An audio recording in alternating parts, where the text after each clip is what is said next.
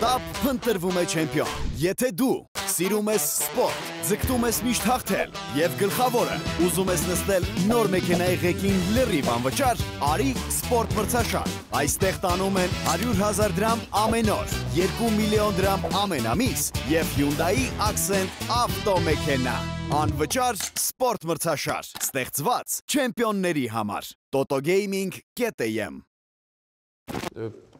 Իհարկե սպորտից խոսալ այսօր շատ դժվար է, որովհետև երեկվա իմացած լուրը ոչ միայն մեզ ամբողջ աշխարհն ա ցնցել,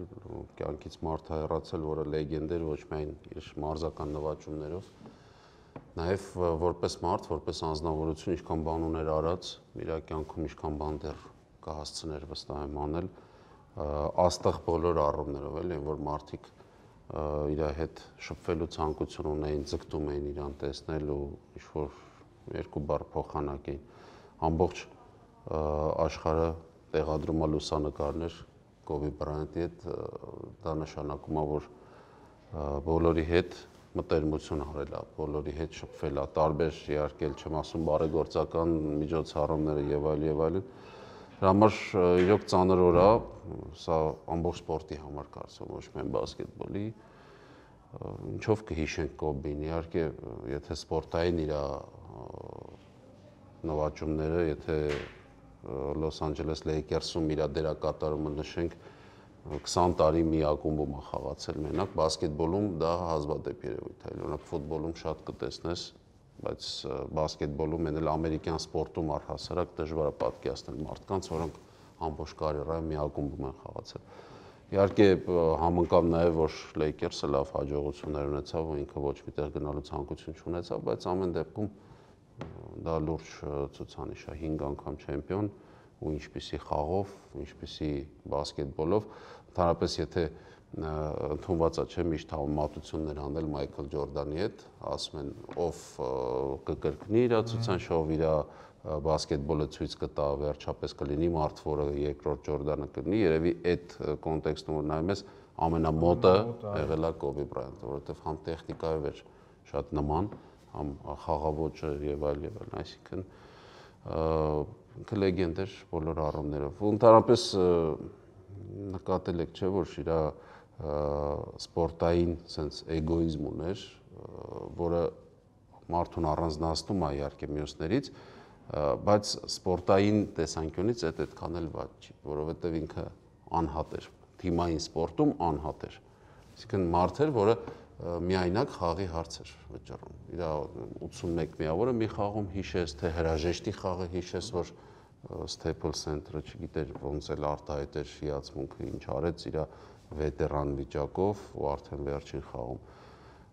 դրա համար ծանր է, շատ ծանր է։ Դեպ երբեք ինքը աստղային հիվանդությամբ տենց էլ չտարապես չվարակվեց, եթե կարելի է ասենց ասել։ Երեք առավոտյան էլ հենց հասցրել շնորհավորել էր Լեբրոնին, որ շրջանցել էր իրեն երրորդ տեղներ, հա։ Հա, վաստակած միավորները։ Վաստակած միավորները NBA պատմության։ Շնորհավորեց ու հաջորդ օրը Կոբին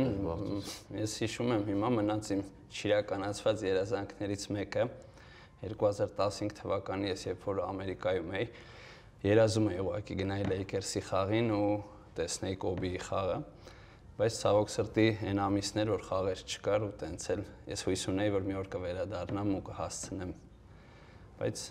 Ցավոք համ կարիերաներ ավարտել, համ սենց ստացվեց, չնայած կարող է մի օր բախտ վիճակվել ինչ որ վետերանների խաղ լիներ, աստղերի խաղ նախքին լիներ, ամեն դեպքում հա սենց պատմություններ մենք որ սենց հիշում ենք, պատկերացնենք այն մարդիկ, ովքեր իրար իր հետ շփվել են, ինչ պատմություններ կհիշեն։ Շակիլ Օնիլն էր շատ հուզիչ գրառում արել, որովհետև ասում եմ ինքը ոչ միայն իմ թիմակիցներ, ոչ միայն ընկեր, ինքը իմ տան մարդն էր, ասում ենք մի ոնց որ մի տանիքից բասկետբոլի ներկայացուցիչներն էին գրառումներ անում նույնիսկ Նեյմարը հենց խաղի ժամանակ Պարիս Սեն-Ժերմենի գոլ խփեց եւ ցույց տվեց 24 համարը Դե իհարկե հիմա երկու համար են հիշում իր 24-ն ու 8-ը, որովհետև երկար ժամանակ 8-ով էլ է հա։ խաղացել, բայց ավելի շատ 24-ով կհիշվի ու այդ համարը հատ Toronto Raptors-ն ու San Antonio Spurs-ը իրանց խաղի ժամանակ էլի հետաքրքիր ակցիա արեցին, առաջին երկու գրողները չանցկացին, 24 վայրկյան գնդակ պայեցին ամեն թիմը էլի տենց։ Մի խոսքով բոլորը հիմա առավոտից սոցկայքերով նայում ես գրառումները։ Ոչ կարելի է խոսել իրականում Կոբի մասին։ Ահա, ուղղակի եւ ցավը կրկնապատկվեց, երապատկվեց, չգիտեմ, որ բարձվեց դուստրը հետներ, այն դուստրը, որի հետ ինքը բասկետբոլային մեծ հույսեր էր կապում եւ ասում էր մեծ աստղա լինելու կանանց բասկետբոլը։ Ամբասիտը էր ասում, ամբասիտը։ Ամբասիտը 13 տարեկան, չգիտեմ, այն որ իհարկե նաեւ ցավալի են մարդկանց համար ովքեր նույն ուղաթիռում էին շատ փոքր կազմեր, բայց ասենց ստացվեց, չգիտեմ, վաղոց էր դեպի ինքը եւ ուղաթիռով։ Միշտ ասոց Կոբին հենց ասում են Կոբի ուղաթիռ էին կատակով ասում ընկերները նաեւ ու միշտ ասոցացվում էր հենց տենց էր նույնիսկ խաղերին մարներ գնում ուղղաթիռ։ Հա, իր աստղային ժամանակն է, ասում են Լոս Անջելեսում էլ մի տեղից մի տեղ ուղղաթիռով խցանումներից խոսափեր։ Դե հա, ասենց ստացվեց իհարկե շատ ցավալի է, բայց պետքա ոչինչ չեն կարող անել։ Ոչինչ չեն կարող, բայց հիշել իհարկե բոլորը միշտ Կոբի Բրայանտին կհիշեն որպես բասկետբոլի ու սպորտի լեգենդ։ Շատ արդիական է այսօր համաշխարհային ֆուտբոլում այդ վիդեո օգնականի համակարգը, VAR համակարգը, ինչպես ասում են, եւ օրորի ամեն խաղից խաղ, չեմ ասում տուրից տուր, հա, խաղից խաղ ինչ որ մի նորություն ենք տեսնում, որը ստիպում է այս համակարգի մասին խոսել։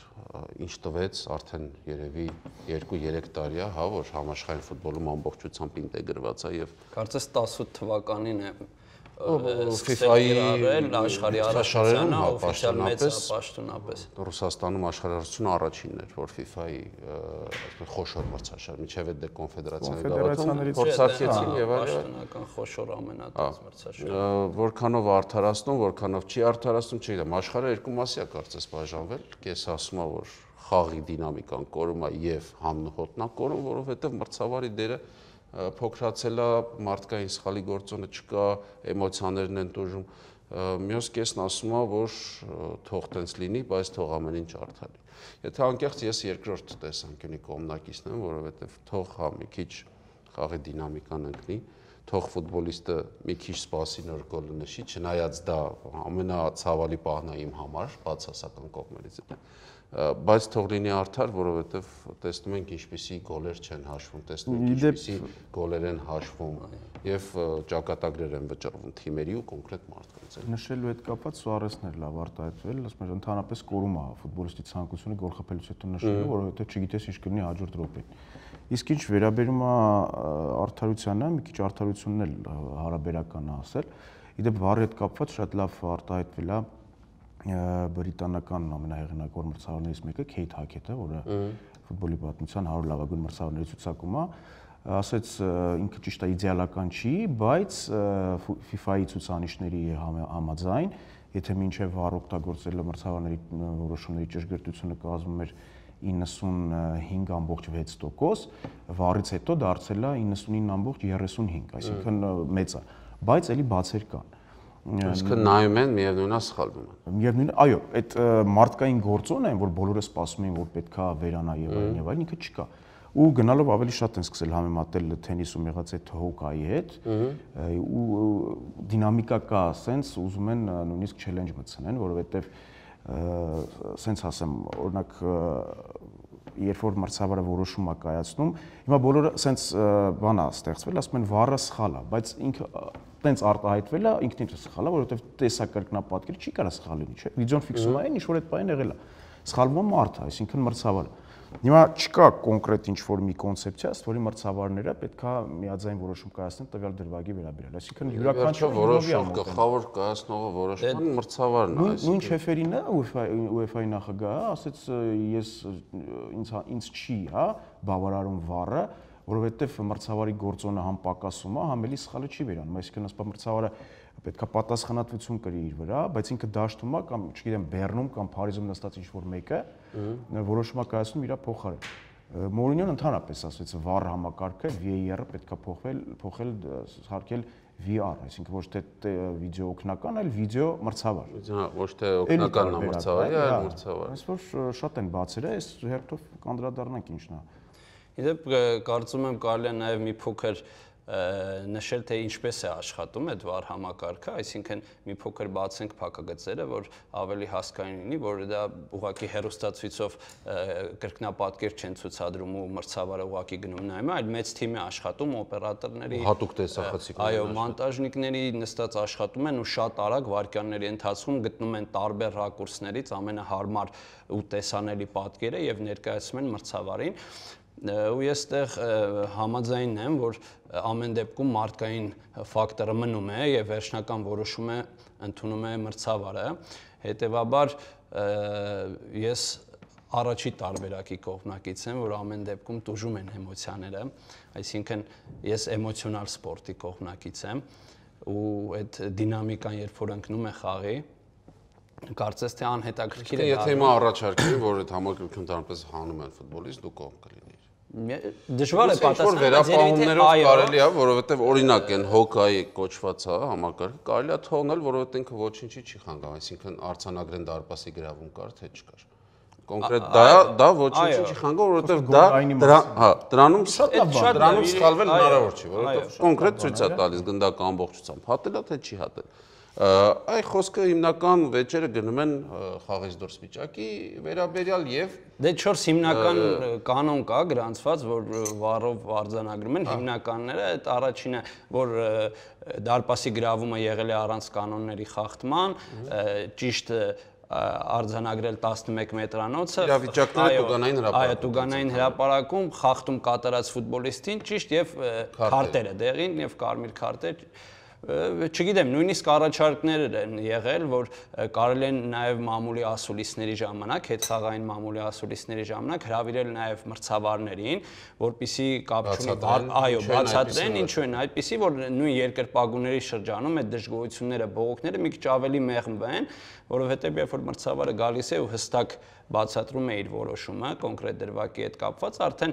ավելի ոնց որ հասկանալի է դառնում սովորական երեկույթ։ Օրինակ երեկվա հռոմեական դերբի մրցավարին կարելի էր հրավիրել բացատրելու ինչ որ բան, որովհետև երբ գլուվերտի դրվագը եղավ, շատ վստահ եկավ, ցույց տվեց, որ կա կանոնների խախտում, հետո կարգը պահանջում էր, որ մի հատ սпасեր, հուշեցին որ 50-50 վիճակը Արինայի եկավ նայեց եւ ասեց որ ոչ չկա կանոնների խախտում ամբողջ աշխարհի համար կարծում եմ էլի հանելուկ մնաց ինչներ պատճառով երևի միակ այսպես բացատրությունը եթե մրցավարի օկտին փորձես գտնել այն որ Գլուվերտը ինքը եկավ բախվեց պաշտպանի։ Այո, արագության տակ մի քիչ դժվար է դա։ Բայց ամեն դեպքում կարծում եմ փակեց պաշտպանը նրա ճանապարհը։ Ոչ միտումնավոր, բայց ով էր պաշտպանը, հնարավոր որ չի տեսել եւ այսինքն խախտում չի արել, այլ ոնց իրավիճակի Բազմաթիվ խախտումներ կան, որ ոչ միտումնավոր են լինում բայց մնում են խախտում։ Դե այո, բայց ամեն այդ այդ առումով հիմա էլի ֆուտբոլային աշխարհը բաժանվել է երկու մասի։ Այսինքն մի մասն ասում է մրցավարը պետքա կոպիտ ենք ասում, շատ դեպքերում ալարում են, կապ են հաստատում օկնականի հետ։ Հիմա շատ շատերն ասում են բերեք փոխենք մրցավարը, թող ինքը գնա մի անգամից, եթե կասկածում ոչ թե մի անգամից, նշանակի թող ինքը գնա նայի, հետո նոր ինքը որոշումը կայացնի։ Հետաքրքիր դեպք հիշեմ, Mainz Mainz Augsburg-ի, եթե չեմ հիշում, խոսքով 2018-ին Գերմանիայի առաջնության հանդիպում էր։ Խաղարել ես նայում։ Ընդմիջումից է, չէ, ինչ ինչով է հետաքրքիր։ Ընդմիջումը եղավ, թիմերը գնացին հանդերձարան, Հետո մրցավարը մի որոշ ժամանակ հետո հravirեց նորից դաշտ, որովհետև ընդեղից հուշել էր հուշացումով, եկավ 11 մետրանոց նշանակեց ու հաղթեց։ Հիշեցի հայտնի դեպքեր, չնայած դա անց դրվագիր, որ ամբողջ աշխարհը պատտեցրեց, առաջարդ են անդերձանում։ Հա, հետաքրքիր որ 11 մետր։ Անգլիայում օրինակ ես մրցաշրջանում օրենք ընդունեցին, ասացին որ դինամիկան չընկնի ու հիմա տենց էլ շարժվում են խաղի համար նախատեսածա 10 րոպե մեկ խաղի համար այսինքն այդ դաթարը վառին տրվում։ Այսինքն ընդհանուր դաթարը վառի համար։ Այդ մրցավարը ինքը բազում անգամ կարար նայեր կրկնապատկերը, հիմա ընդհանրապես 3 հնարավորություն է տված։ Մեկը նորմալ վիճակն է, երբ որ խաղային դրվագն է, եւ երկու դանդաղացրած։ Բայց վառի առումով ամենատուժվածը երևի Գվարդիոլան է, բայց ինքը շարունակում է կողմ արտահայտվել վառին հետաքրքիր։ Դե որովհետև բոլորը գիտակցում որ կգա մի օր, որ շատ կարևոր գոլ կարող է իր թիմի համար Չէ, դե հիմա հիմա այդ մարդկային գործոնները շատ ճիշտ բան է իր ասում, նույն Լյորենտեի ձերքի գոլը, ձերքով գոլը որ կար Տոտենհեմի, հա, այդ քաղաքավոր եզրափակիչի, այնտեղ մի քանի ռակուրս ցույց տվեցին, մի մի մի տեղից երևում էր, որ ձերքով չի խաղացել, այն մյուս ռակուրսից երևում էր, որ գնդակը դիպավ ձեռ։ Այստեղ այստեղ պետքա հստակ տարանջատել ժամանակին, օրինակ, երբ որ մրցավարի հայեցողության վրա էր, ոչ բոլոր ձերքին հպումները համարվում են խախտումներ։ Դե հիմա ֆիքսված է, չէ, հիմա հիմա հիմնականում հենց այդ Լորենտեի գոլից հետո դա դա պատճառ դարձավ, որ կանոնակարգեն։ Լորենտեի հարցը գիտես ինչու՞մն է, որ մրցավար երբ որ տեսա կրկնապատկերը գնաց նայելու, իրան ցույց տվեցին այն ռակուրսից, որտեղից երևում է որ Լորենտեն ձեռքով չի խաղացել։ Համար Գվարդիոլան հետո ասեց, ես իմ համար տարօրինակ է։ Ինչու մյուսն էլ ցույց չտվեցին, այլ ցույց տվեցին։ Միգուցե Հիմա ֆիքսեցին այսպես, գրողող թիմի խաղացողի ձեռքին ինչպես էլ կպավ խախտումը։ Դե հիմա պատահական էր, պատահական չէր, ձեռքը հպված էր, հպված չէր, կապ չի։ Կպավ ձեռքին։ Ինչ որ կես գրողող թե պաշտպանող։ Ոչ, գրողող։ Այսինքն, եթե դու ինչ որ կերպ ձեռքի միջոցով ես կասեցել գնդակը եւ գոլ խփել, միևնույն է չէ։ Հա, հա, հա։ Իսկ պաշտպանվող թիմի դեպքում նորից մնում է այսպես, եթե ձեռքը հպված է, օրինակ կամ մարմնի բնական շարունակությունը այդ բային համարվում, դա խախտում չի։ Եթե ձեռքը ոչ բնական դիրքում է, որովհետև երեկվա հենց խաղում է, որ հիշեցինք Ռոմա Լացիո խաղում էլ տենց դեպք եղավ, երբ որ տուգանային հարվածի ժամանակ ձերքը կպավ Լացիո գնդակը կպավ Լացիոյի խաղացողներից մեկին, Ռոմայի խաղացողները պահանջում էին, որ վառով Բայց նա մարմինն էր փակել, էր։ Այո, բայց նաև առաջարկ կա այդ պարագային, որ նույնիսկ թմերը կարողանան խաղի ժամանակ X քանակի, այսինքն 2 կլինի 3 անգամ, ոնց որ թենիսում, այո, չէ՞ ոնց որ շամարտում էլ կա, չելենջ եւ այլն, բայց օրինակ FIFA-ն դեռևս չի դիտարկում այդ տարբերակը, վատ տարբերակ չի կարծես։ Իսկ եթե կարծում ես որ բանա պահանջում ես ամեն խաղակեսում երկու հնարավորություն ամեն թիմը ունենա, եթե լրացուցիչ ժամանակ դնում մեկական ավելին 3 անգամ, ասենք ամբողջ խաղի։ Հիմա տեսեք դեղին քարտով են չէ՞ պատժում մրցավարները, երբ որ խաղացողը մոտենում է մրցավարին ուզում է ինքն էլ դիտի, կամ ասենք մարզիչներից ինչ-որ մեկը միանգամից դեղին քարտով են պատժում։ Անգլիայում էլ բուրըն են քննարկում, ասում են չէ, ամեն դեպքում ըստ երևույթի կմտնի այդ օրենքը, այդ որովհետև այդ մարդկային գործոն գործոն հասկացողությունը գոնե ինչ-որ կերպ կմեղմի։ Այսինքն թիմը հնարավորություն կունենա ինքը challenge-ն ուզի ինքն էլ հասկանա, եթե դրվագը կասկածելի է։ Չնայած դինամիկայի հետ կապված էլի շատ հետաքրքիր բան ասեց Կլոպը վերջերս, ասեց երբ որ խոսում են էլի դինամիկայից, ասեց հա ես կողմ եմ վառին, բայց մինչև մրցավարները parzum են հարցակվող թիմի ֆուտբոլիստի ոդքի եղունգը քանի սանտիմետրով է խաղից դուրս վիճակում 30 րոպե հանցնում է եկեք դրա վրա աշխատենք չէ հիմա սկսել են տարակերություն անել իսկապես որ նայում ես գեղեցիկ կոմբինացիա գոլա ֆուտբոլիստը ուրախանում է նշում են ամբողջ թիմը մեկ էլ նայում են 1 մմ խաղից դուրս վիճակը։ Ինչքան ցավալի է, որ դրա պատճառով գոլը չեն։ Նաև վառը սպանում է, կարծում եմ, այդ ֆուտբոլային դրաման, այսինքն եթե վառ լիներ այն ժամանակ, երևի չլիներ այդ Մարադոնայի աստծո ձեռքը եւ շատ դերբակներ։ Եվ բայց փոխարեն օրինակ Լեմպարդի գոլը հաշվեին հա, աշխարհի առաջնությունում եւ Բայց ֆուտբոլը նաև գեղեցիկ է դրամայով, այդ էմոցիաներով, այդ թեկուզ անարթարությունով, օրինակ ճիշտ է, այս էպիզոդը վառի հետ կապ չունի, բայց շատ-շատ կարծիքներ կան, օրինակ 94 թվականի աշխարհի առաջնությանը, երբ որ Բաջոն այդ 11 մետրանոցը չիրականացրեց, ամբողջ աշխարհով այդ անձնական ողբերգության պատճառով Բաջոին սկսեցին ավելի շատ սիրել եւ երկրպագել եւ նաեւ այդ ֆուտբոլային անարթարությունները շատ ավելի շատ ոնց որ երկրպագուներ են ավելացնում թիմերի համար եւ այդ դրամատիզմը ողբերգությունը ֆուտբոլիստի ողբերգությունից Այո, բայց մի կողմից էլ ֆուտբոլը սերիալ չէ ամեն դեպքում եւ այդտեղ հստակ հաղթանակի եւ արդյունքի մասին է խոսքը։ Պետքա վերցնել լավ բան բաները համես կողմից, համես կողմից միավորել եւ ինչ որ մի բան։ Ես ինքս սա փորձարկում եմ։ Մենք եկեք համարենք, որ վառը դեռ աշխարհում փորձարկման փուլում է, որովհետեւ շատ երիտասարդ համակարգ է որ เป զի հիմա կատարյալ աշխատի։ Չի կարող։ Որ բաներ պետք է փորձ։ Ես ինքս դեմ եմ, հարցակ ասեց, բերեք նենց անենք հարցակվող, եթե մինչև այդ հարցակվող թիմի ֆուտբոլիստին տալիս էինք, հա, ինչ որ առավելություն։ Առավելություն, եկեք ասես նույնը բերենք մտցնենք, որովհետև շատ-շատ գրողներ սպանում է։ Բայց ասես տեղ չունենք գնալու, որովհետև վառը մնալու է ֆուտբոլում։ Ուղղակի պետքա դա զարգացնել։ Իտալիայում շատ հետաքրքիր բան կիրառեցին մինչև ձմեռային դադարը, եթե հիշում եք 3 թե 4 տուր մի անգամից մրցավարները անընդմեջ այդ խաղերի ժամանակ 3-4 տուր վառը գնում նայում էին ու սխալ որոշում էին կայացնում ու այնտեղ որոշեցին սեմինար անցկացնեն, թիմերի մարզիչներն էին, ֆուտբոլիստներն էին եւ մրցավարները։ Այսինքն եկեք նստենք կլոր սեղանի շուրջ հասկանանք ինչն է թերանում, ստեղ մեր կողմից մարդկային գործոնը, հա, եւ բերեք շտկենք, որպեսզի խնդիրներ չառաջանա։ Հետաքրքիր բան է օրինակ առաջարկել Կասիլիասը վերջերս ասեց օրինակ ես ասեց կցանկանամ որ այդ վառի սենյակում մրցավարների հետ նստի մի հատ նախկին ֆուտբոլիստ, որը գիտի ինչ է կատարվում դաշտում եւ չեմ ասում որոշում կայացնի, բայց ինչ որ կերպ, երբ որ կասկածելի դրվագ է խորհուրդ տա։ Բայց ինչ խորհուրդ։ Դա էլ տարբերակ է։ Ես ինքս չեմ հասկանում ինչ ինչի համար, ասենք ինչ խորհուրդ պետք է տա, որովհետեւ Հետան նախկին ֆուտբոլիստներ կան, որ ֆուտբոլիստ։ Չէ, ուզում ասեմ, այսինքն բոլորը մտածում են։ Նստեն ինչ։ Հետաքրիր կարծիք կա նաև, որ օրինակ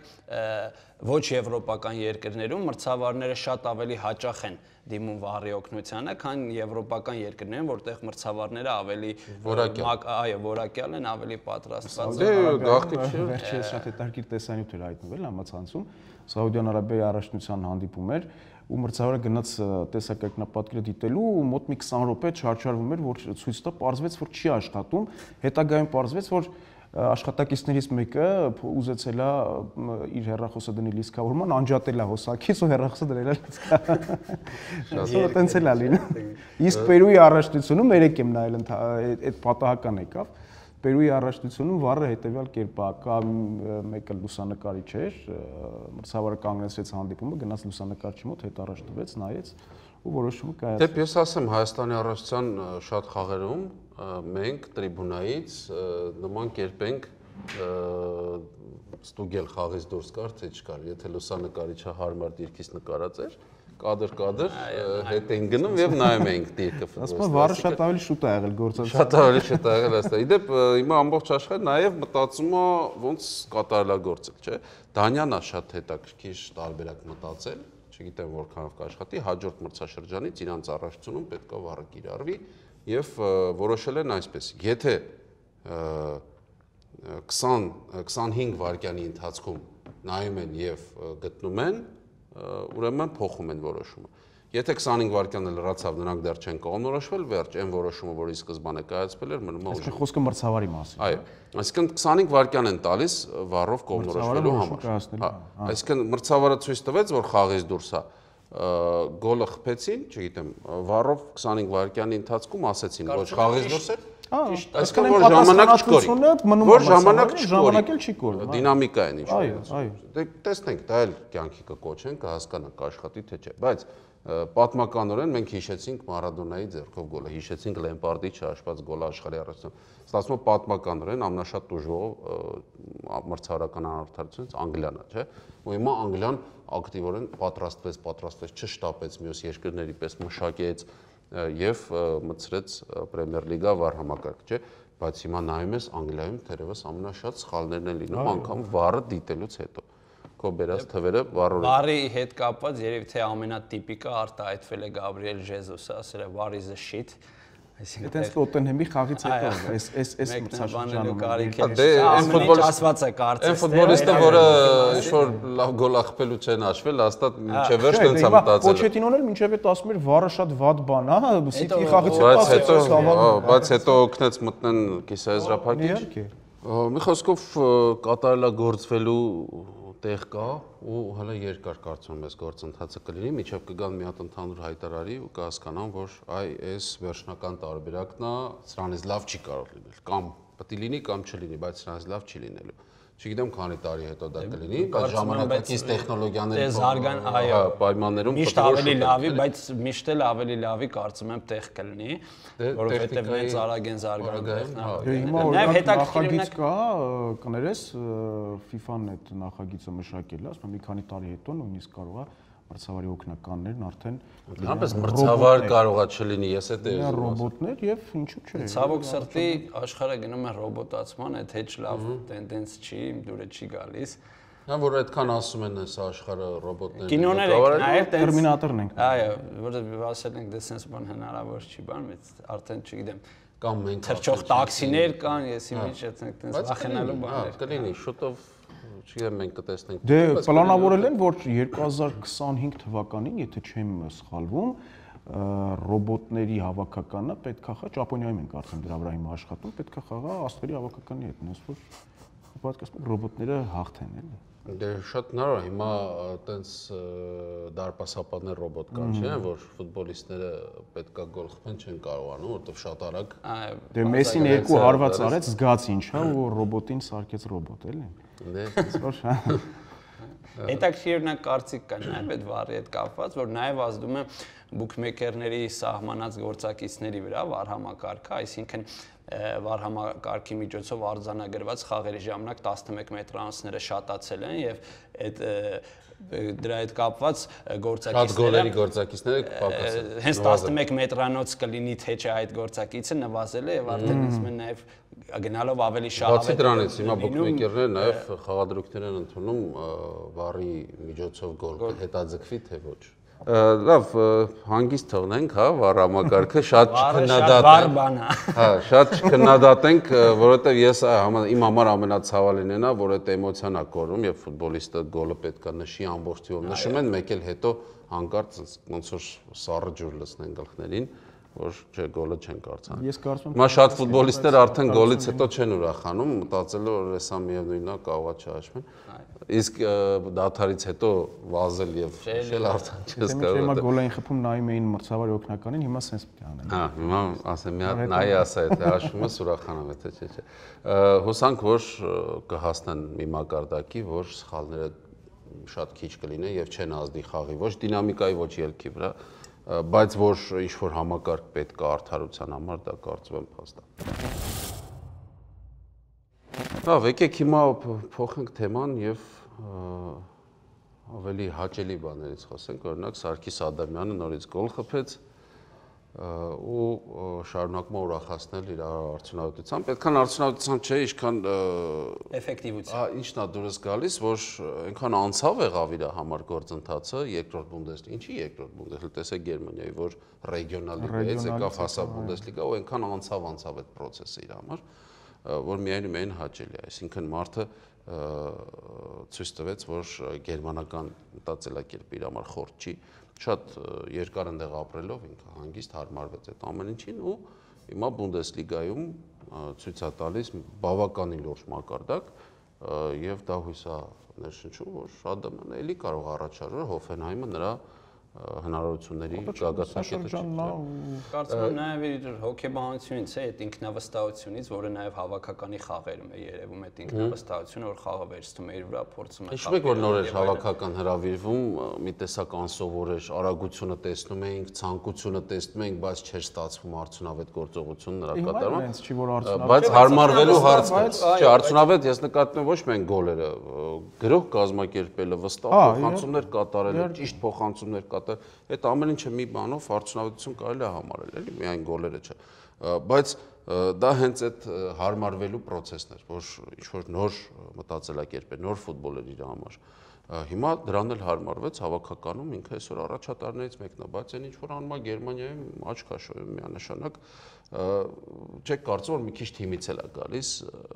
որ խաղացող թիմ է, էլի այն թիմն է, որ ուրախ է, անկախ նրանից ինչա պետք է խաղում իրան ինչ պետք է։ Իր ֆուտբոլն է ուրախ խաղում եւ կամ խոշոր է կամ շատ գոլեր խփելով հաղթում է։ Այդ Ադամյանի համար երևի Դե հոգեարազատի սկզբից էլ մարզիչն ասաց, որ ես վստահում եմ Սարգսյանի, եթե հիշում եք, մի քանի խաղ ինքը ընդհանրապես հայտարարությունում էլ չէր ընդգրկում եւ այդ գերմանական այդ մտածելակերպի համաձայն էլի հիշում եք չէ կլոպեն կերպ ասենք Հենոյի հետ էր սկզբից անում այսինքն պատրաստում էր լավ հասկանալով որ ասում ինքը ինքը կարող է ինքը թող կգա այդ այդ ժամանակը եւ ինքը կապացուցի ու Ադամյանը ցույց տվեց որ իրոք տենց հա Հիմա էլ ինքն էլ երբ որ խոսում էր այն Բավարիան խփած գոլից հետո ասաց ես այնքան ուրախ եմ, ես զգում եմ մարշի վստահություն, իսկ ֆուտբոլիստի համար դա շատ կարևոր է։ Մենք շատ ուրախացնում եմ փաստը, որ Սարգիսը հենց ուժեղ մրցակիցների դեմ է արդյունավետ գործողություններով աչքի ընկնում, որտեվ դա է հենց ցուցանիշը լավ ֆուտբոլիստի, որակյալ ֆուտբոլիստի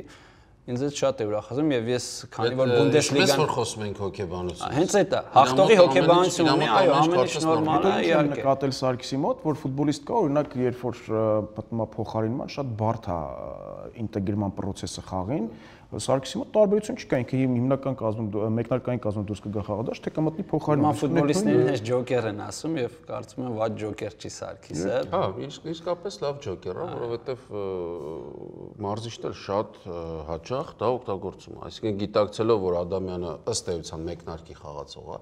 շատ ժամանակ պահում է Պայստանեսլան միայն այն պատճառով, որ ինքը շատ լավ ուժեղացնում է խաղը երկրորդ խաղակեսում անհրաժեշտության դեպքում։ Հիշում եք, որ Հենոն գոլ խփեց Բավարիային Գավաթի խաղարկությունում, եթե չեմ սխալվում, ասացինք, որ մեկ էլ sense բան Երբ կտեսնենք, որ հայ ֆուտբոլիստը Բավարիային գոլ խփի, Անդրեասյանն էր խփել, Հենոն խփեց ու վերջ, հա, երևի դրանով։ Հիմա Ադամյանն էլ գոլ խփեց, ընդ որում խփեց Բունդեսլիգայում։ Սրանք շարունակական կանի, արդեն Նոր սովորություն է, որ մտածել, որ Բավարիային հայ ֆուտբոլիստը վարկեն գոլ խփի։ Իհարկե Հոֆենհայմի հերանեկարները երևի տենց ինչ-որ Ես երկրպագում եմ, որ գոնե Եվրոգավաթներ, չէ, Եվրոգավաթների Հա, Եվրոպա լիգա մտնելը կարծում նորմալ չի գնում, այո, Եվրոպայի նույն լիգը չեմպիոնների լիգան էլ բանկ դժվար կլինի, որտեվ կարծում եմ Դե բավականին տվեց, որ Հոֆենհայմը չեմպիոնների լիգային դեռ պատրաստել Չէ, չի։ ամեն դեպքում քարակում ու շանս։ Որակավորման փուլը եթե ինչ բայց չհաղթար։ տեսականն են այդ շանսերը, այո, բայց Եվրոպա Նագելսմանի ժամանակ չէ, որ նվաճեցին ուղեգիր, բայց որակավորման փուլը չհաղթարեցին, բայց ամեն դեպքում թիմն էլ էփվում է ընթացքում, էլի։ Իհարկե, փորձը Հասունանա դրա ժամանակն էլ կգա։ Լայպցիգի օրինակը, վառ օրինակը, ինչպես կարելի է մտնել չեմպիոնների լիգայի համար լինելով ը, մտնել եւ հաղթահարել խմբային փուլը play-off եւ այնտեղ դեռ ը, Լայպցիգի իր խոսքը ասելու է, կարծում եմ, այնց որ գերմանական ակումբները աստիճանաբար ապացուցում են, որ մեկ թիմի առաջնություն չի երևի միջև հիմա որ Բավարյան առաջատար չի դա էլ ինչ որ չափով ապացույց է, հա, որ որոշակի շարժ կա այդ տեսակից։ կարծրատիպը չի կոտրվում, որ ամեն դեպքում Գերմանիայի առաջնությունը պայքար է Բավարիայի դեմ։ Այսինքն բոլոր Դե գիտես ոնց չի կոտ, այդ չեմ կարող Հա, բոլոր առումներով։ Համաձայն եմ, բայց ինչի եթե Բավարիան իր ամբողջ էությամբ, ամբողջ պատմության ընթացքում պայքարում է բոլոր թիմերի դեմ, բարի բուն իմաստով պայքարում է, այսինքն լինելով ամենահզորը ֆինանսապես, այդ թվում խլում է բոլոր թիմերից իրանց ամենաուժեղ ֆուտբոլիստներին։ Այսինքն կնքահոր սկզբունքով, հա, անում է առաջարկ, որից չեն կարող հրաժարվել։ Եվ ակումբները թուլանում են Բավարիան ուժեղանում։ բո- Հիմա հիմա հիմա ուրիշ բանով են վերցնում թիմերը, թիմային խաղով հա ամենավառ օրինակը հերո չգնանք այդ Լայպցիգն է, որը այսօր առաջատարնա չնայած վերջին տուրում պարտվեց Աուգսբուրգին եւ անհասկանալի խաղ ցուցադրեց, բայց մնում է առաջատար եւ այստեղ մտնում է Էրնեստը Յուլիան Նագելսմանի մասին իր սիրած կարծիքով։ Չէ, եթե անկեղծ ինչ գաղտնիք ունի այդ մարդը։ Ին- Ինչն է առանձնացնում իրան, որ sense կարողացավ աշխարհին ապարգևել տենց Հոֆենհայմ, հետո գնաց Լայպցիգ, չգնաց ը, Բորուսիա կամ Բավարիա, չգնաց այլ առաջնություն, ինչ որ գայթակղիչ Չեմպիոնների լիգայի չգնաց։ երաշա փողի հետևից չգնաց գնաց Լայպցիգ, հա, որը թվում էր եսի միջեր չի անելու, բայց տեսնում ենք ինչ անում։ Նախ ամեն ինչ գալիս է մարդու կրթությունից, ինքը շատ լուրջ ինտելեկտուալ է, ինքը փիլիսոփայության բաժինն է ավարտել, այնտեղ անատոմիայի ավարտել, տնտեսագիտությունն բիզնես մենեջմենտ եւ այլն եւ այլն նոր հետո մարշական դասընթացներ անցել։ Իդեպ Դոմինիկո Տեդեսկոյի հետ միասին։ Տեդեսկոն ոսկե մեդալով ինքը երկրորդն էր։ Բայց հիմա տեսեք Տեդեսկոն ուրա, ինքը ուրա։ Հետո երբ որ շատ հետաքրքիր ինքը այն գերմանական մարշական ինդուստրիայի ներկայացուցիչներից է, որը չհաջողվեց ֆուտբոլում, իհարկե ինքը կլոպ չէր, կլոպն ասում էր ես գիտեի ինչ պետք է անել խաղադաշտում, բայց չէի կարողանում։ Նագելսմանի մոտ հակառակն ինքը լավ խոստումնալից ֆուտբոլիստ էր բայց վնասված ստացավ եւ 20 տարեկանում ստիպված էր ավարտել կարիերան, ընդգրկվեց այնտեղ երիտասարդական թիմերում ի վերջո մինչև ծանոթացավ իր փրկչի հետ, ինչպես ինքն է սիրում ասել, Թոմաս Տուխելի հետ Աուգսբուրգում խաղացողից Տուխելը հասկացավ, որ այս այս ֆուտբոլիստը կարող է օգուտ տալ, սկաուտինգով էր զբաղվում հիմնականում հետախուզում էր մրցակիցներին, ինքն էր ներկայացնում ինչեր պետքա լինի եւ այլն եւ այլն ու շատ արագ 2016-ին Հոֆենհայմը այնտեղ որոշակի անհաջողություններ ունեցավ եւ այլն, կանչել էին իրան երիտասարդական թիմ, միանգամից նախագահը վստահեց Նագելսմանին։ Շատ շատերը Գերմանիայում կարծում էին, բարբերականներն էլ գրեցին, որ ինքը PR ակցիա եւ այլն, Նագելսմանը ցույց տվեց, որ ոչ ու այն ժամանակ ինքը արդեն այն ինովացիաներ էր սկսել կիրառել. Իր առանձնատանը մեծ էկրանա տեղադրել ինքը միշտ դրանով ազբաղվում առաջինն էր, որ տեղադրեց մեծ էկրան հենց մարզման ժամանակ, հենց դաշտում է այդ էկրանը։ Եվ հենց պարապմունքների ժամանակ, մարզումների ժամանակ ինքը ֆուտբոլիստներին ցույց է տալիս ինչ պետք է անեն էկրանի վրա վերլուծելով։ Գերմանիայում չգնան հետո մի հատ առանձին վերլուծել մարզումը կամ խաղը։ Դրան գումարած հատուկ ծրագիր են մշակել, որը ներբեռնել են ֆուտբոլիստների հեռախոսների մեջ, որ յուրաքանչյուր պահի իրենց կարող են բացել հա այդ ծրագիրը եւ մրցակցի մասին տեղեկություն եւ իրենց։ Կարծում եմ Նագեցմանին ներողություն նաեւ շատ օգնում է հենց այդ սկաուտինգով զբաղվելը, այսինքն երկար ժամանակ ուսումնասիրելով ֆուտբոլիստներին հստակ գիտի թե որ ֆուտբոլիստին լավագույնս որ դիտում է կարելի այո օգտագործել եւ Նագելսմանին երբ որ ասում են ֆուտբոլային փիլիսոփայություն ինքն ասում է 30% տակտիկա, 70% մարդկանց հետ շփում շատ կարճ ժամանակում, այն ժամանակ երբ որ Դե շատ մարզիչներ ու առաջատար մարզիչներ դա առանձնացնում են, այսինքն ու խոսացնում ես, ասում են, ասում են ինչքան էլ մշակես տակտիկաներ, ինչքան էլ նորամուծություններ, միևնույնն է մարդկային գործոն կա եւ ֆուտբոլիստը պետքա ունենա որակ, պետքա ֆուտբոլիստի հետ աշխատելու։ Ինքը վերջին շրջանում դարել է արդեն ֆուտբոլային այդ ինդուստրիային, ասենց ասեմ, հա, գիտություններից մեկը մարդիկ դիսերտացիաներ են պաշտպանում այդ ուղղությամբ եւ այլն եւ այլն։ Բայց ամեն ինչը կիրառելի չէ, եթե դու կոպիտ ասած մատերիալ չունես։ Կատարողներ եթե չունես, է հատուցի վրա ինչ ուզում ես գրի գծի։ Հոգեբանությունը մոռացա ասեմ, մի դեպ հոգեբանության ոլորտն էլ, հա, այդ այդ բաժինն էլ ավարտել, բայց ամենա հետաքրքիր նորամուծությունը, որ գերմանական ֆուտբոլում արեց Նագելսման եւ դրանից հետո արդեն ավելի առաջատար ակումբները սկսեցին օգտագործել, ինքը նենց է անում, որ ֆուտբոլիստների ուղեղի աշխատանքը արագանա։ Շատ հետաքրքիր բան եմ ասում, ինձ համար էլ շոկ էր, երբ որ նայեցի ինչ ա մտածել լուրջ մասնագետները հարավիրել եւ վերջո այդ սենյակը ստեղծեցին, որը կոչվում է ուղեղի սենյակ, սենց սենց թարգման ենք, հա, մի քիչ կոպիտ մեծ մոնիտոր է դրած, իդեպ դա կիրառվում է նաև երիտասարդական թիմերում։ Ֆուտբոլիստը կանգնում է այդ մոնիտորի առաջ, մոնիտորի մեջ Հոֆենհայմի ցենց ոնց որ ասենք PlayStation-ի մեջ ֆուտբոլիստներ են եւ մրցակցի ֆուտբոլիստները։ Գնդակով Իա առաջ դրած է այս խնդիրը. Հիշել գնդակով եղած ֆուտբոլիստին, գումարած երկու եւս ֆուտբոլիստների, որոնք բացվում են։ Ահա։ Ու սկսում է շարժը արագանալ, ինքը պետքա վերջում մի քանի րոպե գնալուց հետո ֆիքսի թե ում մոտ էր գնդակու եւ այն երկու խաղանկերները որոնք են ու այդ ամեն ինչը կիրառվում է արդեն խաղի ժամանակ ու արդեն գիտնականները գերմանացի գիտնականները լուրջ մասնագետներ ասում են որ շատ ուժեղ է ազդում ֆուտբոլիստների վրա թե հենց այդ ֆուտբոլային ինտելեկտի մասին է խոսքը կարծիք է կար որ ասում են ֆուտբոլը դա խաղ է երբ ոդկը շարունակում է ուղեղի սկսածը Այսինքն եթե բարձրագույն ֆուտբոլը այո, ինտելեկտը չեղավ, այդ դժվար է շատ լավ ֆուտբոլիստ դառնալ, որովհետև մենակ այդ գնդակով խապկերը չի վազելը, չի ֆիզիկականը, չի այլ նաև միտքն է։ Այո, գլխով։ Հետո ինքը երկար ուղեղի սենյակը վարձով չեն տալիս։ Կարելի է կարելի է առօրյա կյանքում։ Հա, Հայաստանից վերապատրաստել։ Դա հետաքրքիր նաև, որ երկար ժամանակ ինքը խոստովանում է Նագելսմանը, ուսումնասիրել է իր կուրքերից մեկի Գվարդիոլայի տակտիկան Բարսելոնայում։ Եվ ասեց, ես նոր հեծանիվ չեմ հնարել, ես միքսում եմ լավ տակտիկաները մարզիչների, նույն Սարիբոլը, նույն Գվարդիոլան, պաշտպանության ժամանակ ասեց կիրառում եմ Դիեգո Սիմեոնեի տակտիկան եւ այլն եւ այլն։ Այսինքն են լավագույններից լավագույնները վերցնում։ Գվարդիոլան եթե հիշում եք, կեղծ ֆուլբեկեր օգտագործելը, հարցակողներին իջացնել հենակետային գոտի եւ այլն կեղծին համար։ Այսինքն բացի դա նույնիսկ այնտեղ խնդիր եղավ, այդ նույնը կարելի համատել Գասպերինի հետ, այս առումով, որ երկուսն էլ ասում են նույնիսկ դարպասապայի համար մի քանի տարի հետո կարող է դիրք մշակենք, մենակ դարպասում ինքը իր ֆունկցիաները չկատարի։ Այսինքն ժամանակի հետ ինքը առաջ է գնում եւ այս առումով շատ հետաքրքիր որտեվ համարում ես ասում են դարպասում խաղում է հակառակ ընդունված կարծիքի դարպասապանն էլ է ֆուտբոլ խաղում այո շատ շատ հետաքրքիր բան ասես նույն նոյերը ոդքերով փակումների հետ իրեն հենց Բավարիա էին հravirում ինքն ասեց ոչ ես կսկսեմ ներքևից, միջին եւ աստիճանաբար գնալով կզարգացնեմ։ Հիմա տեսնում ենք ինչ Լավ, ինչ ինչա լինելու Լայպցիգի հետ, ես նկատնում Բավարիայի հետ էս պայքարում Ես կարծում եմ Բավարիան ամեն դեպքում չեմպիոն կդառնա։ Հա, բայց դա չենք համարի, չէ՞ Լայպցիգի համար պարտություն, որովհետեւ ձմեռային հատվածը սենց հաջող փայլուն ավարտել։ Ընդհանրապես հիշում եք երկար տարիներ ավանդույթ կար Գերմանիայում, որ ձմեռային չեմպիոն էր դառնում, հետագայում նաև առաջությունում հաղթում էր բայց հիմնականում այդ հաջողությունները կապված էին Բավարիայի հետ, հա, ոնց պատտվում է ամենաշատ ցուցանիշն է։ Այս տարի Բավարիան ոչ խաղով, ոչ մարշչի տեսանկյունից,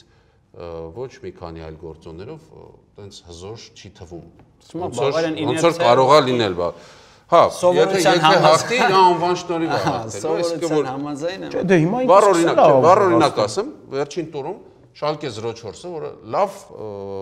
մրցաշրջան անցկացնում, այսինքն ցախողած մեկնարկից հետո հիմա տեսնում ենք ինչ լավ դիրքում է եւ 3 միավոր էր զիջում Բավարիային այս վերջին տուրից առաջ եկավ Ալյանս Արենա ու բաց թողեց իր ավանդական 5 գոլը գնաց։ Մտածելակերպի խնդիր է, կան չէ թիմեր, Շալկե 04-ը, Վերդերը, Բորուսիան Դորտմունդի, այսինքն Բավարիայի կոմպլեքս ունեն։ Այո։ Այո։ Հատկապես Բավարիայի դաշտում Մյունխենում չեն կարողանում խաղալ։ Եվ Լայպցիգն էլ, Մյունխեն Գլադբախն էլ, կարծում եմ այդ խնդիրը դեռ էս առաջացում ունենալու են, այսինքն Բավարիան հիմա եկել հասել է, չնայած շատ հետ էր, մի պահ հիմա եկել գրեթե մոտեցել առաջատարին եւ անվան շնորհիվ եւ ավելի մեծ հնարավորություններ շնորհիվ պետքա որ հա 20 գոլ է խփել Բավարիան։ Եվ եւ հետո եւ հետո նայում ես ինչ ֆուտբոլ է խաղում Լևանդովսկին, հասկանում ես որ դա սարսափելի է ուղղակի մրցակիցների համար, եթե Բավարիան գալիս է քո վրա 6-րդ տեղից 7-րդ տեղից այդ թափով Լևանդովսկիով, ասենց որը ամեն խաղում Լևանդովսկին վաղուց ինձ թվում է դարձել արդեն որակի չափանիշ, ես չեմ էլ պատկերացնում, ասենք Լևանդովսկին ու ինչ որ անորակ ֆուտբոլ կամ քիչ գոլեր ստաբիլություն ստաբիլություն հենց այդ եմ ասում որակի ասենք եթե Լևանդովսկի գիտենք արդեն ոնց որ պատկերացնում ենք կոնկրետ քանակի խփված գոլեր կոնկրետ որակ մակարդակ դրա համար Լևանդովսկին իմ համար զարմանալի չի օրինակ որ Դες ինչն է հետո զրահը գնացքի է նման էլի այո վիրահատությունից առաջ չես կանգնել այդ արդյունավետությունը մինչև ձմեռային դաթարը բոլորս էլ տեսնում էինք հետո գնաց վիրահատության չէ օգտագործելով ձմեռային դաթարը շատ-շատ ֆուտբոլիստներ վիրահատությունից հետո ինչ որ ժամանակ կա պետք որ մարզավիճակ հավաքեն ինքը այդ գրություն էր թողել սոցցանցերում, ասեց գալու եմ նույնը շարունակել, ու եկավ մարդը շարունակում։ Ասես չեր էլ եղել այդ վիդեոը։ Չեր եղել այն սպառությունա, որ ինքը այդպես ֆուտբոլային ռոբոտ է, հա, լավ իմաստը, այսինքն երբ սարք սարքին վիճակում է, նորմալ աշխատում է։ Իր գործը անում է եւ թույլ թույլ կողմեր թվում է այդ հարցակվողը չունի։ Գլխով աչով, ցախով մի դիրքում չի մնում, անընդհատ ստեղծում է նաև ստեղծում է, հա, այնց որ կատարյալ օրինակ կիբերգ հարցակվողի համ, այսինքն եթե սկսնակ հարցակվողներին փորձեն բացատրել ինչպես պետք է խաղաս քո լավագույն ժամանակահատվածում, այդ ցույց կտան Լևանդովսկու խաղը, կասեն այսպես պետք է խաղաս, որովհետև իրոք ֆանտաստիկա է ինչ անում է։ Չնայած հիմա մի տղա հայտնվեց, հա, Բունդեսլիգայում, որը ցույց է տալիս, որ ավանդույթները կարող են շարունակվել, հասկանալի է խոսքը Էրլինգ Հոլանդի մասին է, որը եկավ Բորուսիա եւ շոկի ենթարկեց բոլորին, հաշվեցին քանի րոպե էր դաշտում անցկացրել եթե չասեմ 30 երկու խաղում միասին 30 չէ, մի քիչ ավելի խաղում մենակ 30-ից որ 26 թե 30։ Մի խոսքով 1 ժամ մոտավորապես կամ մի քիչ պակաս եւ 5 գոլ ա խփել այդ ընթացքում։ Հետրիկ, դուբլ, ինչա լինելու հաջորդը բոլորը սպասում խաղացողներ եթե հիշում ես մի անգամ մենք զրուցում ենք շատ խաղացողներ երազում են կարիերայի ընթացքում գոնե հետրիկ անել, ինքը արդեն մի մրցաշրջանում 5 հետրիկ արել։ Դե բայց Հոլանդը սկսել է Չեմպիոնների լիգայից իր արդյունավետությունը, տեղից էլ նկատելի դարձավ։ Manchester United-ներ ուզում, Juventus-ներ ցանկանում ես սպասք ինձ խանգարում ամեն անգամ։ Հոլանդը սկսել Մոլդեից ինքը իրան բացահայտեց մեծ առումով Սուլշերը հետո եղավ երիտասարդական աշխարհի առաջնությունը Հոնդուրասին 9 գոլ։ Այսինքն Սուլշերը օգուտել է տվել որպես մարզի համաշխարհային։ Հետո այդ գործն օգտագործեց գնաց որ ինքը համոզի Հոլանդին, բայց չգիտեր որտեղ Ռայոլա կա, էլի որ հա։ ավելի մեծ գործ։ Բայց կարծում եմ Հոլանդը շատ ճիշտ արեց, որ մի անգամից շատ թոփ ակումբ, շատ մեծ ակումբ չգնաց։ Շատ շատ լավ բան ես ասում, եթե համեմատենք Էդեգորի հետ։ Այո։ Էդեգորը տրվեց գայթակղությանը գնաց։ Հա, երկու ադամանդները նորվեգական ֆուտբոլի, մեկը ինչ եղավ, մեկը ինչա, բայց հիշում եք, խոսում ենք շատ էր գոլ խփում, ասում ենք դե Զալցբուրգում հնարավոր է, որովհետև Ավստրիայում շատ ուժեղ է եւ իրանք իրանց գոլերը շատ են խփում, ինքնա շատ է։ Հետո եկան Չեմպիոնների լիգա, Հոլանդը ցույց տվեց, որ չէ, ամենաբարդ մրցաշարում, ամենահեղինակավոր մրցաշարում ինքը էլի բոլորից շատ գոլ նախվել։ Եկավ Բունդեսլիգա, ստեղ սկսեց խփել, այսինքն հիմա էլ տեղ չկա ասելու, որ ինչ որ բան պատահական է ստացվում։ Այս մարդը կարող է գոլ խփել եւ ֆանտաստիկ տաղանդ է։ Կյանքում իր հայրը Լիցի Մանչեսթեր Սիթի հայտնի ֆուտբոլիստներից էր որի կարիերան կործանեց Ռոյ Կինը։ Դե Հոլանդը լիցում էլ ծնվել է, դա լիցում է ծնվել։ Այնտեղ ունեին իրանք հակամարտություն կար Ռոյ Կինի եւ հոր միջև, Կինին ինքն էր վնասված կաստրել, հետո Կինը պատասխանեց ու հետ պատասխանը կործանեց կարիերան ու սկսեց զբաղվել իր տղայով, այսինքն այն ինչ որ ինքը չէր հասցրել, փորձեց ներդնել Հոլանդի մեջ ու նույնը շատ խիստ գրաֆիկով այ դեպ շարժվում Հոլանդը, այնտեղ լեզուներ սովորել, տարբեր գիտություններ ուսումնասիրել։ Հա, զգացվում է, որ շատ տղա է, բայց այո, իր իսկական պրոֆեսիոնալի պես է պահում իրան եւ հետրիկների, գիտեք ինչ ասեց, հետաքրքիր ասեց, երբ որ հետրիկ եմ անում, ասեց հարց տվեց լրագրողը մի անգամ, որն է ձեր գաղտնիքը հետրիկների, ասեց յուրաքանչյուր հետրիկ անելուց հետո այդ գնդակը երբ որ վերցնում եմ ինձ որպես հիշատակ, ես քնելուց գիշերը երեխաները քնում են արջուկների հետ, կամ իրենց տիկնիկների, միշտ այդ գնդակների մանկողնում են, ես իրանց փարվում եմ, փաթաթվում եմ, քնում։ Լրացուցիչ մոտիվացիա են ասած։ Ասեց ես ո՞նց եմ մոտիվացում։ Հետաքրքիր է, տարօրինակ է, բայց մայրը գալիս ասում է Էս ինչ կեղտոտ բանը 100 հոգի ոդկով հա հարվածել է դու բերել տեղաշը ամեն դեպքում չէ նաև մանկական այդ պատմությունները ինչ որ բան որ դեռ կապում է մանկության հետ հա հասկանում ես որ շատ վաղ տարիքում այս տղան սկսեց սենց ֆուտբոլ խաղալ եւ Բունդեսլիգայի այս կես մրցաշրջան Բունդեսլիգայում անցկացնելուց հետո չի բացառում որ ամռանը Հոլանդի գինը դառնա 100 միլիոնից որ անցնում արդեն եթե շարունակի եթե շարունակի ու գրանտները կսկսեն իսկական ոչ հետը չնայած արդեն սկսել էին որ տեսնենք բայց հիմա կմիանան այն բոլոր թիմերը որոնք ամենալուրջ նպատակներ են Ռեալը, Բարսելոնան, Յուվենտուսը, չգիտեմ։ Բայց հետաքրքիր կլիներ Հոլանդին տեսնել հենց այդ մակարդակի ֆուտբոլ խաղալիս ու հետաքրքիր ինչ արդյունավետություն։ Չէ, հենց այս այս արդյունավետության ֆոնին հետաքրքիր կլներ հասկանալ, Այստեղ էլի էլի պետք է խոսենք Դորտմունդի տրանսֆերային քաղաքականությունից, ֆանտաստիկ քաղաքականություն է։ Միշտ գտնում են այն ֆուտբոլիստին ու այն միջոցները, որով կարողանում են այթակել տանել իրենց մոտ ու բոլոր ֆուտբոլիստներն էլ երիտասարդ շատ լավ գիտեն, որ Բորուսիայի համակարգն հենց է ստեղծված, որ իրենք կարող են աճել որովհետև մերժել գրանտներին Եթե ֆուտբոլիստը ցանկանում է կարիերայում աճ գրանցել վաղ տարիքում, իհարկե Դորտմունդը լավագույն օրինակներից մեկն է, ուր պետք է գնալ, այդ աճը ապահովելու համար։ Իհարկե, մենք Ասերիայից խոսեցինք, նշեցինք, որ աճ կա եւ Ասերիան աստիճանաբար բարձրացնում է մակարդակը եւ արդեն լավ պայքար ենք տեսնում։ Գերմանիան ինչ որ չափով նմանություն ունի, որովհետև ելի մենք տեսնում ենք այդ հավասար պայքարը, ելի տեսնում ենք ակումբների աճը, բայց ինչն է ընդհանուր Իտալիայում եւ Գերմանիայում կամ մեկական ակումբ, որոնք միևնույնն է դառնում են չեմպիոն վերջին տարիների տենդենսը Գերմանիայում միշտ է այդպես եղել, Յուվենտուսի Պարագայում, Իտալիայում վերջին տասնամյակում է այտենց, բայց ընդհանուր մի բան կա, հա, վառ ընդգծված ֆավորիտ ունենալով հանդերձ այդ առաջտությունները միևնույնն է մակարդակի աճ են գրանցում եւ ակումբները սկսում են ավելի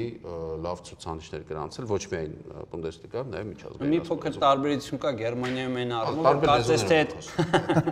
այդ երրորդ, չորրորդ թիմերը միշտ ոնց որ թե փոխվում են, ասենք, միշտ նոր թիմեր են գալիս, չգիտեմ, մի կողմից այդ լավ է, այսինքն ավելի հետաքրքիր է դարձնում պայքարը, որովհետեւ մյուս տարի չգիտես, որ թիմը կգա այդ պայքարին կխառնվի։ Մյուս կողմից էլ ոնց որ չկարողանաս ինչ որ թիմ երկրպագես, բացի ասենք Բավարիայից, Բորուսիայից, որ ասենք որ հետաքրքիր թիմ ընտրես, որը որոշակի ստաբիլություն նաև կունենա, չգիտեմ, այդ առումով մի քիչ երևի թե Եվ եւ իհարկե մեկ բան էլ որ առանձնացնում է Գերմանիան վերջին տարիներին աշխարհին թոփ մարզիչներ են մատակարարում։ Կլոպը գնացել է հիմա Լիվերպուլն է բարձրացրել միջև երկինք Տուխելը Paris Saint-Germain-ին է ֆավորիտ դարձնում Չեմպիոնների լիգայում Նագելսմանը ճանապարհին է, այդ ամեն ինչի հետեւաբար Հա, Գերմանիայի ֆուտբոլային ինդուստրիան, հա, արտադրանքը ամբողջ ուժով 100%-ով աշխատում է։ Դրա համար սպասենք գերմանական ակումբներից նաև բարձր ցուցանիշներ Չեմպիոնների լիգայում, բացի Բավարիայից, հա, Դորտմունդը, Լայպցիգը կարող են ինչ որ իրենց խոսք ասել, չնայած մրցակիցները շատ բարդ են, այլ կերպ չի դժվար կլինի։ Տեսնենք, տեսնենք Բունդեսլիգան միջև ուր կհասնի իր մակարդակով եւ թող այն մարդիկ, ովքեր գերմանական ակումբների երկրպագում են, վայելեն այս տարիները, որովհետեւ ամեն ինչ շատ լավ անդամ։